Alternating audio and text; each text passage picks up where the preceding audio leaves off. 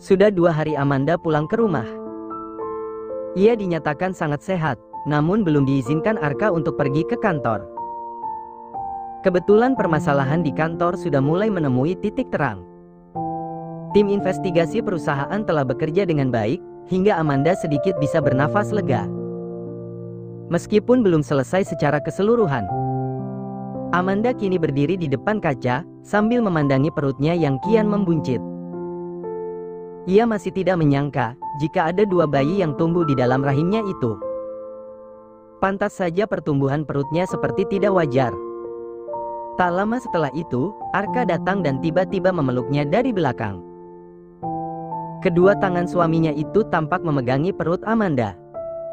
Belum dikasih tahu ya, jenis kelaminnya apa? Tanya Arka pada Amanda. Kata dokter belum kelihatan, Kak. Karena mereka masih menutup rapat bagian itu, masih malu kali. Tapi aku udah siapin nama buat mereka. Ujar wanita itu seraya tersenyum, menatap Arka di pantulan kaca. Oh, iya. Siapa namanya? Kalau cowok-cowok, namanya Aska dan Afka. Hem, terus? Tanya Arka seraya mengelus perut istrinya. Kalau cewek semua, Amala dan Amannya.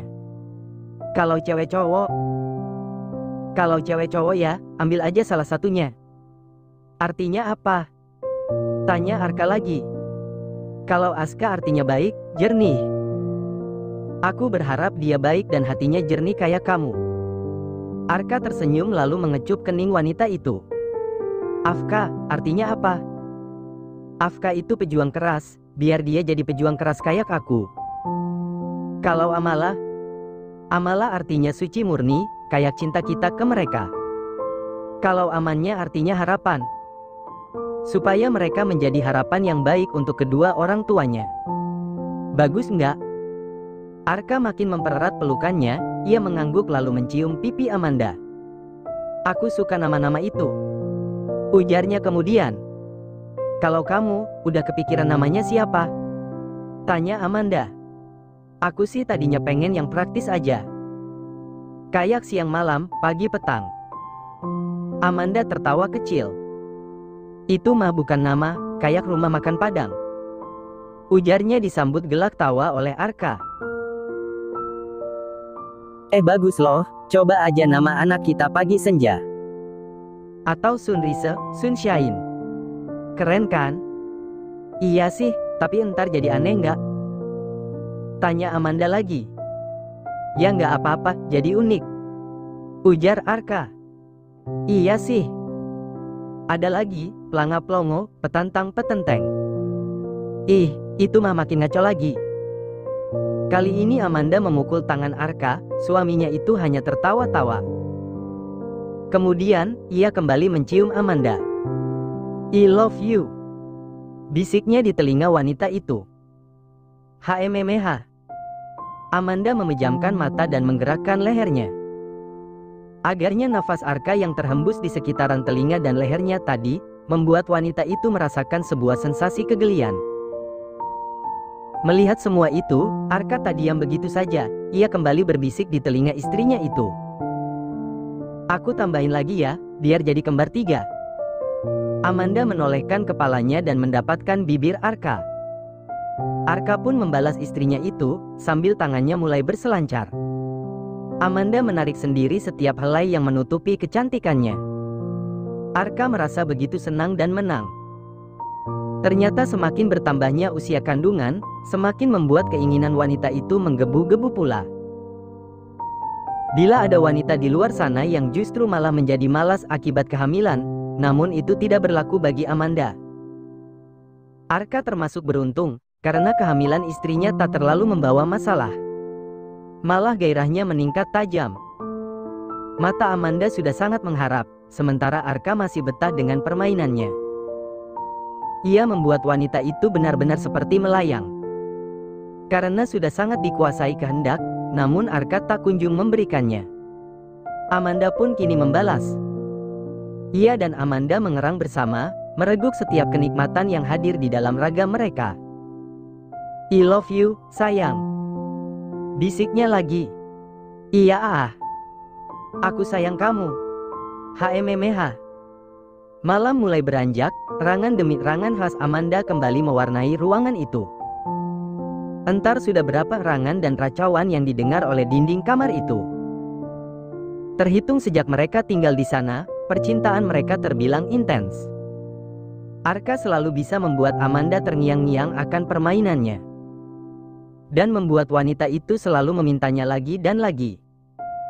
Sementara Arka sendiri merasakan kenikmatan lebih, ketimbang dulu saat ia bersama Maureen. Maureen telah berjalan ke sana-sini, jatuh di pelukan banyak lelaki. Tetapi Amanda, ia mendapatkan wanita itu dalam keadaan belum pernah tersentuh pria mana pun. Itulah yang membuat Amanda lebih dicintai oleh Arka. Meskipun rasa untuk Maureen di hatinya, tak pernah hilang begitu saja. Kak, kamu mau kan nikahin aku secara resmi? Tanya Amanda pada Arka yang kini masih berada di atasnya. Arka bertumpu pada kedua tangan agar tak begitu menekan bayinya. Pemuda itu mengangguk pasti. Kita akan meresmikan pernikahan kita secepatnya. Aku nggak mau, anak kita lahir tanpa ada nama aku di kartu keluarga. Kan aku bapaknya. Amanda tersenyum. Janji jangan tinggalin atau selingkuhin aku ya, Kak. Aku udah melakukan hal yang sangat besar, dengan mau menikah resmi sama kamu. Kamu kan tahu, dulu aku selalu berprinsip untuk tidak mau menikah.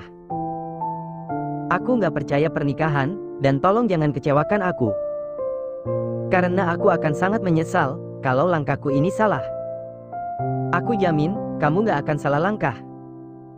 Aku janji akan berusaha menjadi suami yang baik untuk kamu, dan ayah yang baik buat mereka. Arka bergeser sedikit, lalu ia memberi sentuhan-sentuhan kecil di perut Amanda. Tampak bayi-bayi mereka memberi respon dengan membuat gerakan-gerakan. Arka dan Amanda sama-sama tertawa. Dek, lagi ngapain di dalam sana? Tanya Arka seakan bayi-bayinya tersebut dapat menjawab. Mereka kembali memberi respon, kali ini lebih aktif ketimbang tadi. Manda.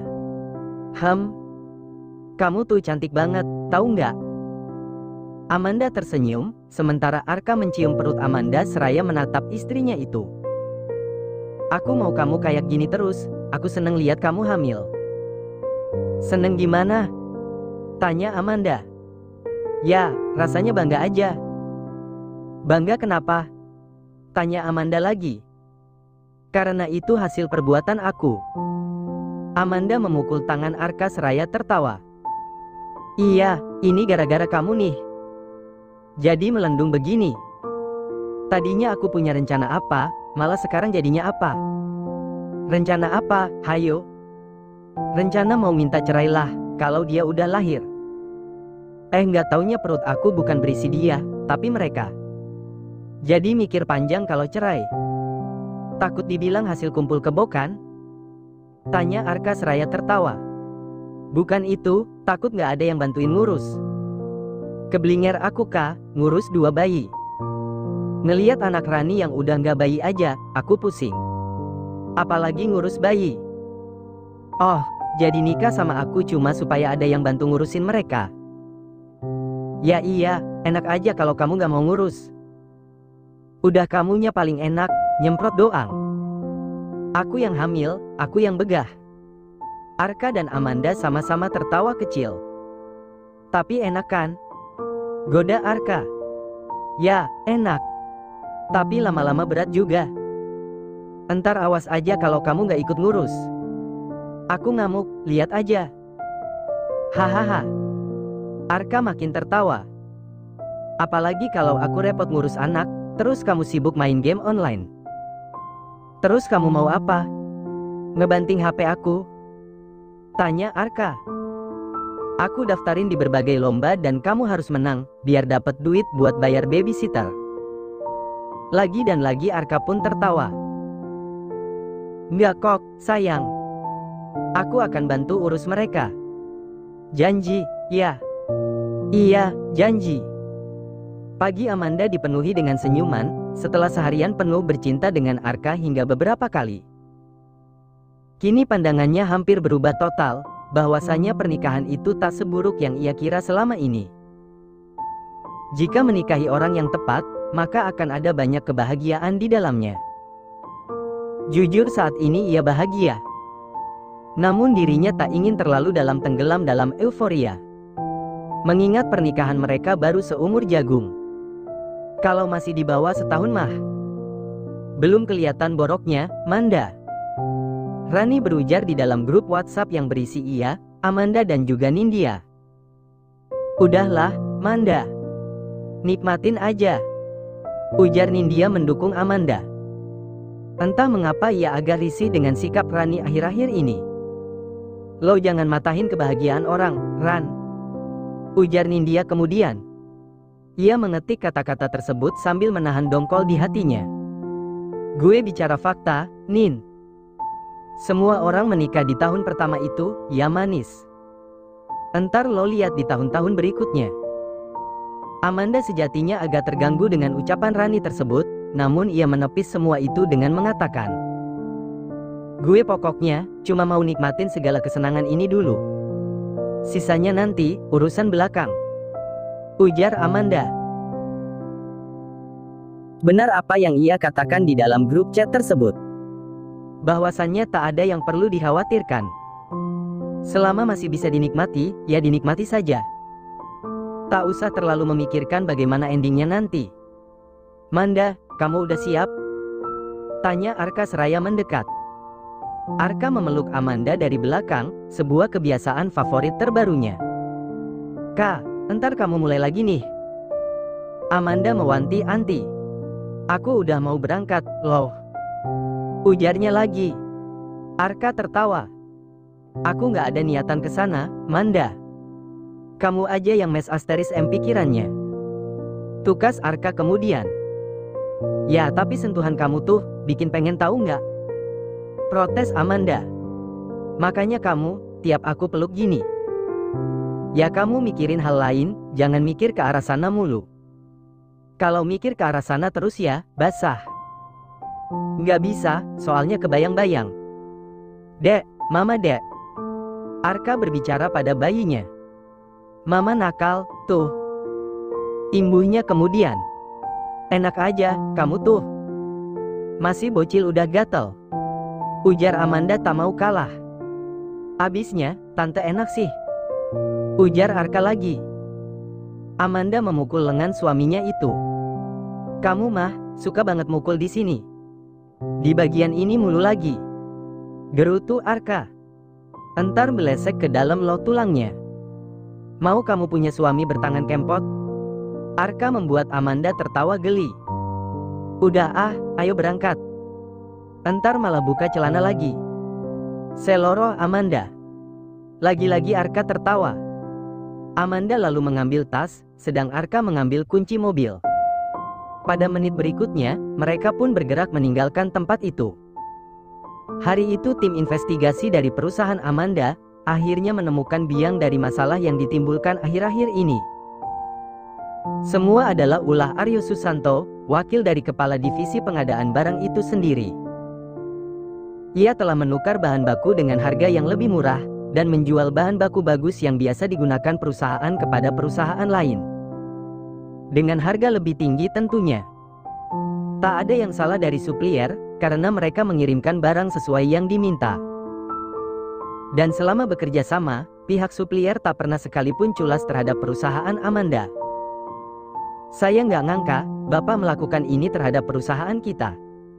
Amanda berkata dengan nada rendah, namun syarat dengan kekecewaan. Hampir tujuh tahun, Pak. Kita bekerja bersama-sama membangun perusahaan ini. Nggak pernah terpikirkan sedikit saja di benak saya, bahwa saya akan dikhianati oleh orang yang saya percayai. Aryo Susanto hanya menunduk dan tak berkata sepatah kata pun. Tampaknya ia tahu jika kesalahannya sudah tidak dapat dimaafkan lagi. Dengan berat hati, Amanda lalu membuat surat keputusan bahwa Aryo memang harus dikeluarkan karena telah dengan sengaja menyebabkan kerugian besar terhadap perusahaan. Amanda diam saja saat Aryo akhirnya dikawal oleh perwakilan tim investigasi untuk keluar dari ruangannya. Ia mengambil sebotol wine dan sebuah gelas. Namun kemudian tendangan di perutnya membuat ia sadar, jika saat ini dirinya tengah mengandung. Amanda tak jadi meminum minuman beralkohol tersebut. Ia hanya membenamkan wajah pada kedua tangannya sambil menarik nafas. Mencoba menetralkan seluruh perasaan yang kini berkecamuk di benaknya. Kasian gue sama Pak Aryo. Ujar Intan ketika jam istirahat telah tiba dan ia makan di kantin seperti biasa. Bersama Satya, Denny dan juga Nur, anak dari divisi IT. Kasian Bu Amanda juga. Ujarnya kemudian. Gue sih nggak kasihan sama Pak Aryo. Celetuk Denny. Yoi, dia jahat anjay. Timpal Satya, lalu menyedot es teh manis yang ada di hadapannya. Bisa-bisanya dia mikirin keuntungan sendiri. Lanjut Satya lagi. Lo yakin itu salahnya Pak Aryo? Tanya Intan pada mereka. Maksud lo? Tanya Nur penasaran. Bisa aja kan, Pak Aryo itu jadi kambing hitam. Ada dalang yang lebih besar dari semua ini. Tiba-tiba Rani melintas, Intan melirik ke arah Rani. Tatapan matanya kini diikuti Satya, Denny dan juga Nur. Maksud lo, pelakunya orang lain gitu? Tanya Satya kemudian. Bisa jadi. Jawab Intan. Mungkin aja Pak Aryo hanya korban atau sengaja dijebak gitu oleh seseorang yang mengiming-imingi dia dengan sesuatu. Lanjutnya kemudian, Hem, gue tahu nih arahnya ke mana. Ujar Denny seraya menatap Intan. Pasti lo mau menuduh Mbak Rani lagi kan? Tukasnya lagi. Gue nggak menuduh Mbak Rani. Intan membela diri. Tapi arahnya ke sana, kan? Kali ini Satya menimpali. Intinya, gue nggak 100% percaya kalau Pak Aryo pelakunya. Dia itu bergabung dengan Bu Amanda dari sebelum perusahaan sebesar ini. Dia dan Pak Robi, kepala divisi pengadaan barang, sama-sama berjuang dengan Bu Amanda dalam membesarkan perusahaan ini. Ujar Intan. Gak mungkin banget Pak Aryo menghancurkan apa yang sudah susah payah dia bangun. Lanjut gadis itu lagi. Iya, sih, Denny dan Satya agaknya mulai berpikir. Tapi masa iya, Mbak Rani pelakunya? Ujar Denny kemudian. Ya siapa tahu aja, orang dia masuk juga jalur orang dalam kok. Bu Amanda yang masukin. Mana kita tahu isi hati seseorang, niatnya apa, maksudnya apa. Ya tapi kan dia udah ditolong Bu Amanda, masa ia jahat sama teman sendiri. Sat, Zaman sekarang berapa orang sih yang bisa jadi teman di dalam hidup kita? Lo aja deh, hitung teman lo yang benar-benar teman. Ada berapa? Satya diam, zaman sekarang memang susah mencari teman sejati. Yang ada hanyalah teman yang memanfaatkan kita di kala kita senang. Dan meninggalkan kita, di saat kita butuh bantuan. Iya juga sih, tapi ah masa iya? Rani gitu loh, kelihatan baik-baik begitu. Cakep pula, walaupun janda. Rasanya nggak mungkin aja. Gue juga tadinya nggak mau percaya. Tapi ya, ngeliat tingkah laku dia akhir-akhir ini. Gue jadi curiga. Ya semoga aja emang ulah Pak Aryo sendiri dan gak ada sangkut pautnya sama Mbak Rani. Ujar Denny lagi. Di rumah sakit. Liana menangis di hadapan psikiater yang menangani kondisi kejiwaannya, pasca kasus pemerkosaan yang ia alami beberapa waktu lalu. Psikiater tersebut membiarkan wanita itu menumpahkan segala beban yang ada di dalam hatinya. Agar ia sedikit lega dan bisa berpikir jernih untuk kepentingan hidup selanjutnya. Karena apa pun masalahnya, kita harus tetap bergerak. Bunuh diri tak akan menyelesaikan masalah. Satu-satunya cara adalah kita harus menerima musibah itu sendiri meski sulit dan berat hati. Kemudian mengambil langkah-langkah hukum jika memang diperlukan. Sudah, nak. Nggak usah terlalu dipikirkan lagi. Ibu Arka mencoba menenangkan hati Liana ketika sesi telah usai. Hari itu ia sengaja mengunjungi Liana karena terus kepikiran pada keadaan dan nasib gadis itu. Ia takut jika Liana akan bunuh diri lagi mengingat beban serta trauma yang ia alami sangatlah berat. Sampai hari ini saja, ia belum meninggalkan rumah sakit. Karena masih harus mendapat perawatan yang intensif. Nanti kalau kamu sudah sembuh, tinggal sama ibu ya. Jangan lagi di kosan kalau kamu takut. Liana hanya mengangguk, ibu Arka pun lalu memeluknya dengan erat. Sementara di lain pihak Rianti yang makin getol mencari kebenaran soal gosip yang menimpa Arka, kini dihadapkan pada sebuah fakta baru. Bahwa beberapa anak di kampus Arka mengatakan, jika Arka saat ini memiliki kekasih yang tengah hamil. Emang benar? Tanya Rianti tak percaya. Ia kini masih berhadapan dengan mahasiswi yang memberinya informasi tersebut. Ya dengar gosipnya sih, gitu. Tapi lo coba cari tahu sendiri deh. Tanya Maurin Ke atau temennya Maurin. Atau Sirio sama Donino, yang akrab sama abang lo. Gue pengen nanya banget sama Mas Rio, tapi takut dia malah ngadu ke Mas Arka. Kan gue diem-diem nyari tahu soal ini. Gue takut kalau nanya ke temennya, terus temennya ngadu, Mas Arka nanti malah marah sama gue.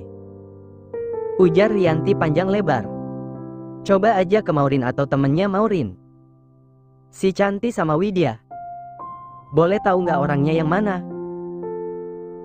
Hem, jam segini belum datang kayaknya. Nama lo siapa sih? Tanya Rianti. Gue Siska. Gue Rianti, boleh minta nomor lo nggak? Tanya Rianti pada Siska. Siska pun lalu memberikan nomornya. Gue minta tolong ya, kalau misalkan teman Maurin datang, fotoin dan kirim ke gue. Biar gue datengin mereka sendiri. Soalnya kalau Maurin, gue pernah berantem sama dia. Waktu dia masih pacaran sama Mas Arka. Gue males nanya ke dia. Oh ya udah, deh. Entar gue wain ke Elo. Ujar Siska. Tang Yu ya, sis. Ujar Rianti kemudian. Sama-sama. Jawab Siska.